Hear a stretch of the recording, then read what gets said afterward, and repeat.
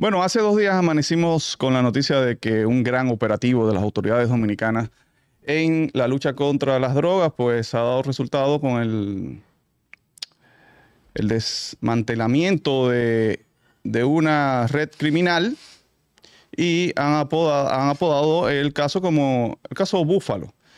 Usted se pone a leer los periódicos tradicionales y la verdad es que no entiende absolutamente nada. Y para eso hemos contactdo a uno de los hombres más informados en estos casos para que nos diga los orígenes de, este caso. Hablo del detective Ángel Martínez. ¿Cómo está, don Ángel? Gracias, gracias por tenerme en tu plataforma y para tu público. En verdad que esto es un descaro. Eh, esta organización eh, PRM, lo que ha hecho en el país, lo están catalogando aquí en la diáspora, el, el cartel más grande que el cartel de Sinaloa, el PRM. Y detallo por qué. Perdón, repite la última parte, don Ángel.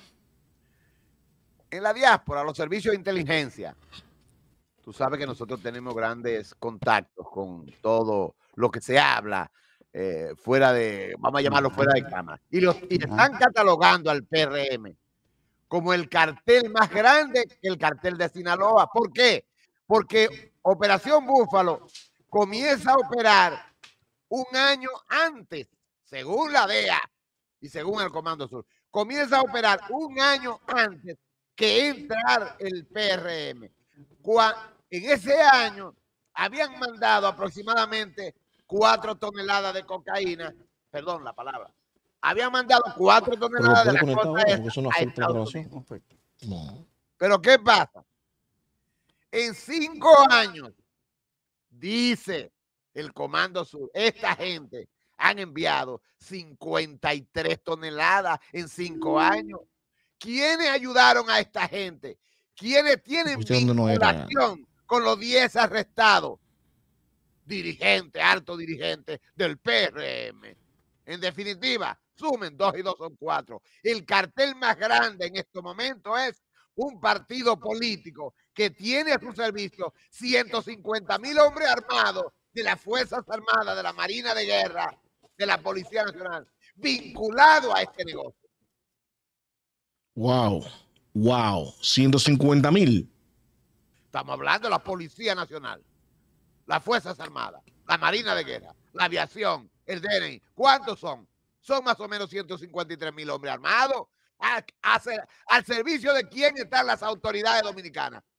Porque ¿por qué tiene el Comando Sur que entrar a la República Dominicana hombres armados de la DEA, hombres armados del FDI? ¿Por qué razón tienen que entrar sin permiso del Congreso de República Dominicana? Eso es una violación al país.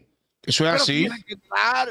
porque el peor cartel, que es el Palacio Nacional y el Congreso Dominicano, tienen un negocio de mandada a Estados Unidos en sus últimos cuatro años, más de 50 toneladas con esta operación Búfalo.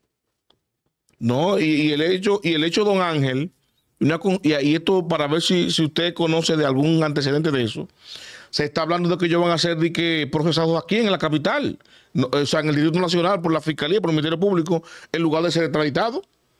Es que le están buscando bajadera. Un bajadero, ¿verdad?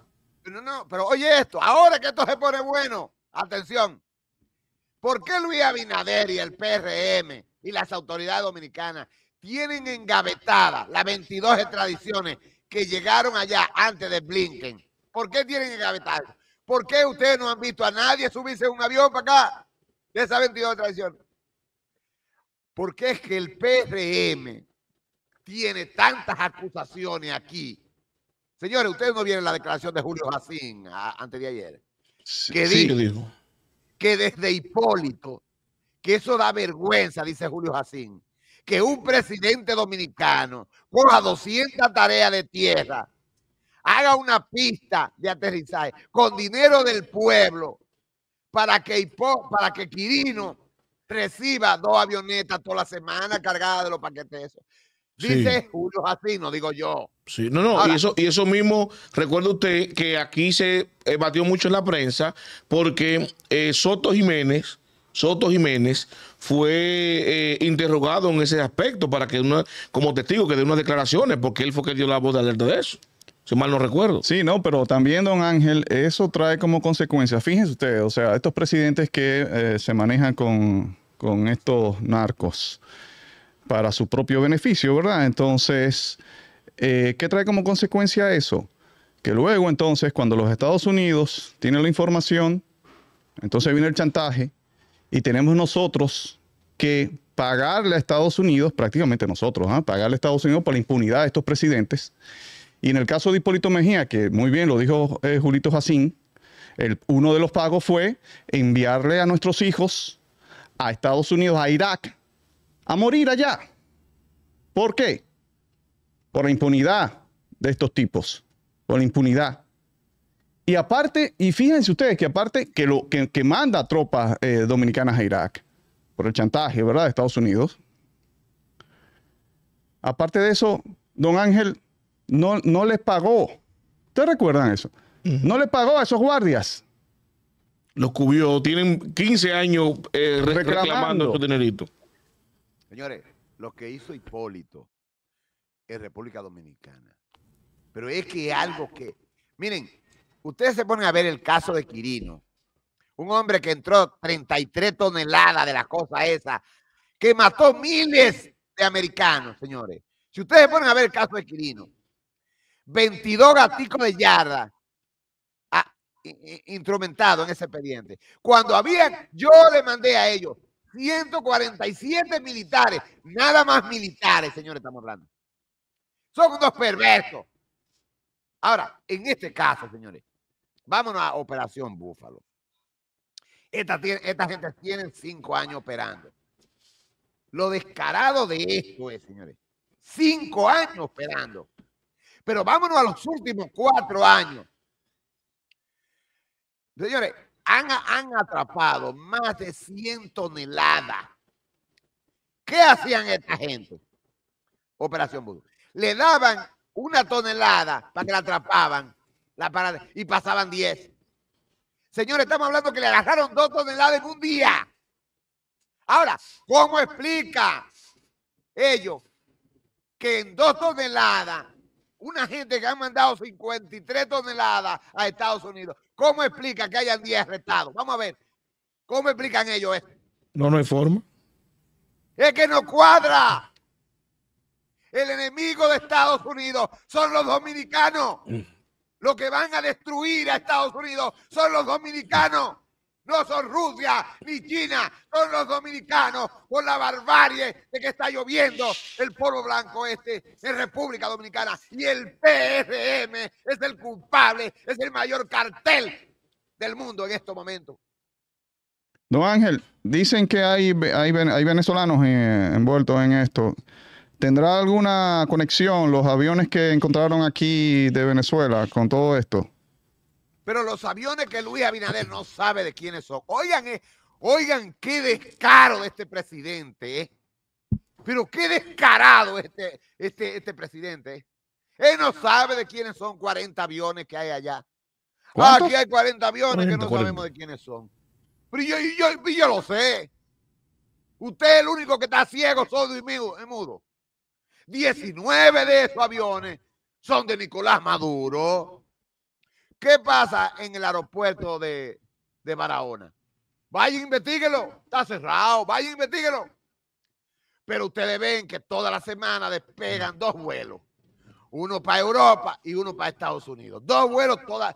Nada más esos dos vuelos despegan de Barahona. Lleno, cargado de paquetes.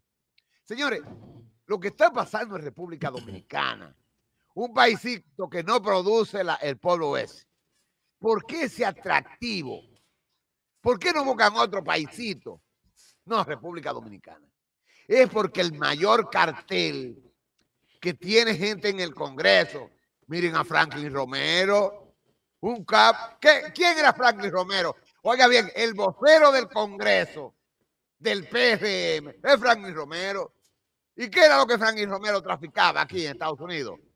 La, que, la cosa esa que se inyecta, que comienza con H. Eso era lo que traficaba.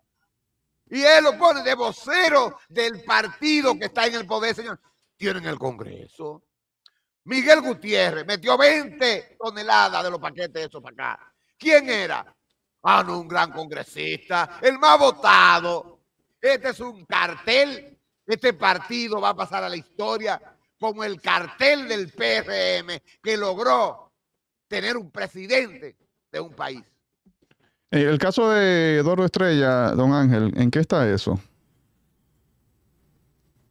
La extradición de Eduardo paliza. Estrella, de Fulcar y de Extradición. Mike López se envió. Lo que pasa es, se mandó, tengo evidencia de que se mandó. Mike López se mandó la extradición por la conexión que Mike López tenía con el Mike, eso es Mickey López. Miki López, se mandó. Eso se mandó. Ahora, lo que pasa es que Miki López públicamente en el, en el programa de Manolo Zuna dijo que le dio 50 millones. 50 millones. Y ustedes lo oyeron. bueno, ustedes lo oyeron. Para que sí, 50 millones para la campaña del presidente. Y no hay consecuencia de eso. ¿Está preso Miki López por eso? No. No, al revés, por eso que no está preso, porque si ya dijo eso, va a decir más y va, y va a mostrar eh, evidencia. Claro. Ustedes Porque recuerde usted, eh, do- don Ángel, que el presidente del PRM, José Ignacio Paliza, dijo que su partido no había recibido un peso de Miguel Gutiérrez, por ejemplo. Y, y entonces salió a la luz pública el recibo del pagaré de la inscripción, que fueron 50 mil pesos. Entonces, si recibió 50 mil pesos de, de Miguel Gutiérrez, ¿estaban limpios esos 50 mil pesos? Eso fueron, lo sacó de su ahorro. Lo grande del caso es que esos 50 mil pesos fueron cash. Pa- Mira. No, sí, pero que lo puso, lo, lo depositó directamente a nombre, a nombre del PRM. Oye, oye esto, oye esto. Eh, Miguel Gutiérrez tenía una sala grande y él sentaba a todo el mundo ahí. Pero había una cámara. Lo grababa todo. Mira, el Torito. Hay un video del Torito entregándole dos millones de pesos, de dólares. Del Torito. Que, oye, hay un video de Eduardo Estrella, de la esposa de Eduardo Estrella, entregándole 180 millones de pesos dos veces. Y el video dice, es para la campaña eso, a la esposa de Eduardo Estrella. Oye, ¿a Para, para la campaña ya en? Santiago. ¿Eh? Pero re- recuerde, do- Ajá. do- don, don Ángel, que en Santiago, en Manuel Doble Estrella, el actual alcalde, eh, Ulises Rodríguez, eh, estaba haciendo campaña con él, con, con Miguel Gutiérrez. Y él dice que no lo conocía y después salieron fotos de él visitándolo aquí en Polo Industria, Bueno, yo te digo a ti que fue, me tumbaron. aparte de la campaña.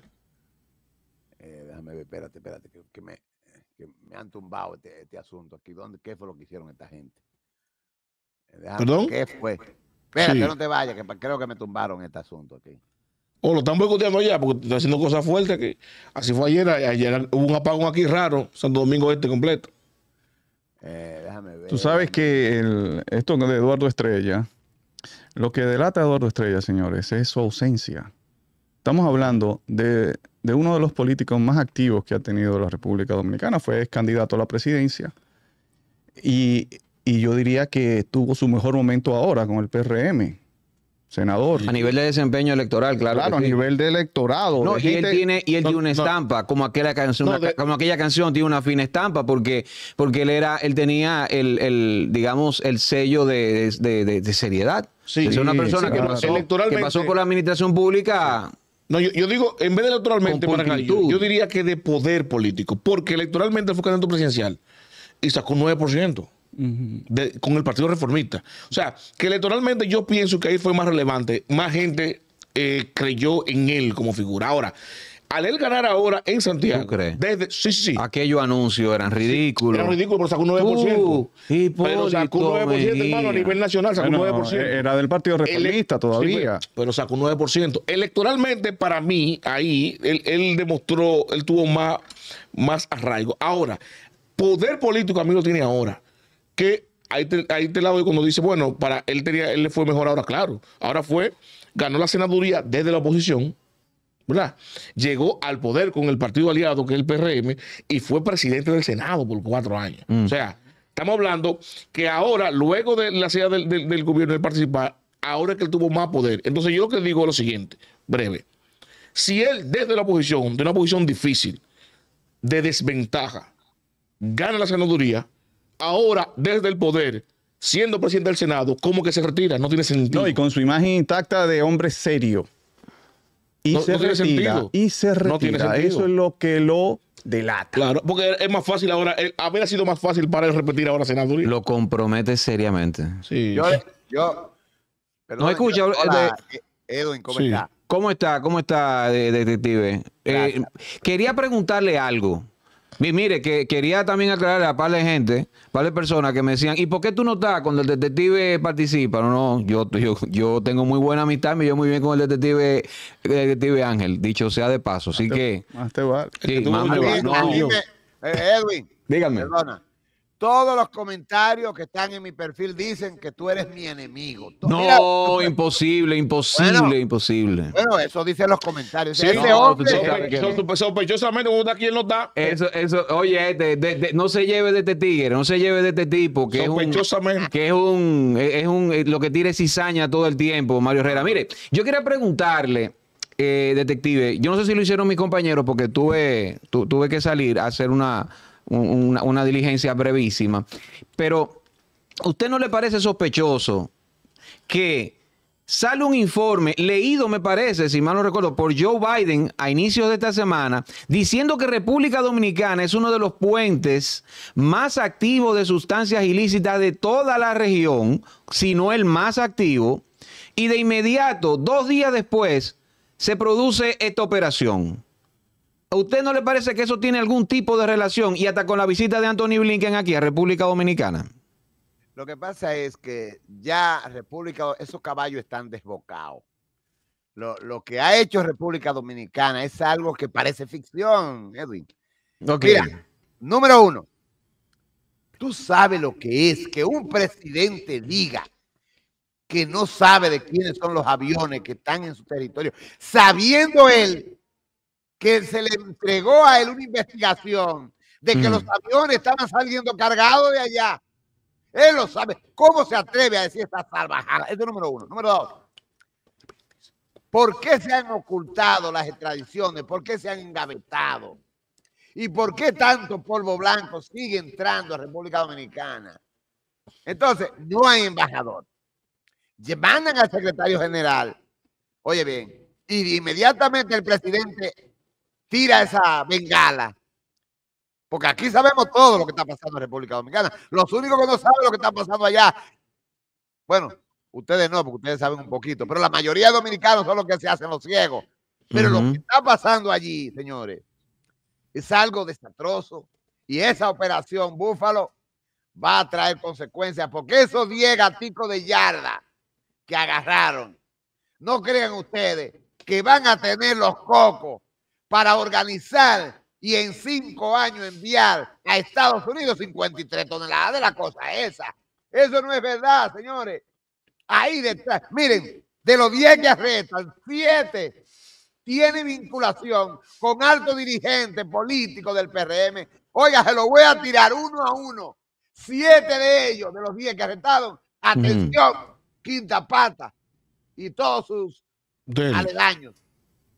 De los 10 que arrestaron, 7 tienen vinculación con altos dirigentes del PRM, que Ay, es el madre. cartel, como dijo Joe, Joe Biden, de toda la región. Eso es una declaración muy brava del No, sí. presidente de Estados Unidos. Sí, eso, eso se ganó el presidente Luis Abinader votado aparentemente y, y, y no entiendo por qué, porque el presidente ha sido muy genuflexo con los Estados Unidos. Eso está raro. Bueno, es ¿Usted que- cree que se va a manejar diferente a los otros casos? Porque mire el caso de Miguel Gutiérrez, como lo sellaron. Miren, ¿Usted cree que en este caso caerá en Bien. cabeza del PRM, del gobierno? Miren, según lleva a los Estados Unidos la política y el plan de Estados Unidos que traer, ya trajo a Juan Orlando Hernández, el expresidente de Honduras. Yo fui el investigador de ese caso. Cuidadito que quien dice que no. Yo estuve ahí frente al juez. El juez me presentó en corte. Aquí tenemos al detective de este caso, de la defensa, Ángel Martínez. El juez me... Que digan que no, ahí está el papel y ahí estaba yo en corte. Juan Orlando Hernández.